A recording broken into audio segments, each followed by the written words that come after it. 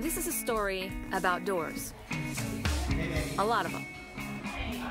And that's me, MJ Hegar, an Air Force combat veteran and a mom.